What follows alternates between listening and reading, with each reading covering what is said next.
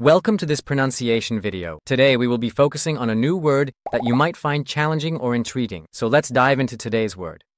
Подчеркнуть, which means Emphasize in Russian. let's say it all together. Подчеркнуть. Подчеркнуть.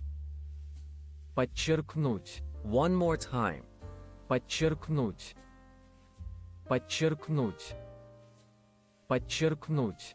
Thank you for joining us on this adventure in pronunciation. Remember, language is a journey, not a destination. Keep exploring, experimenting, and expanding your linguistic horizons. We'll see you next time.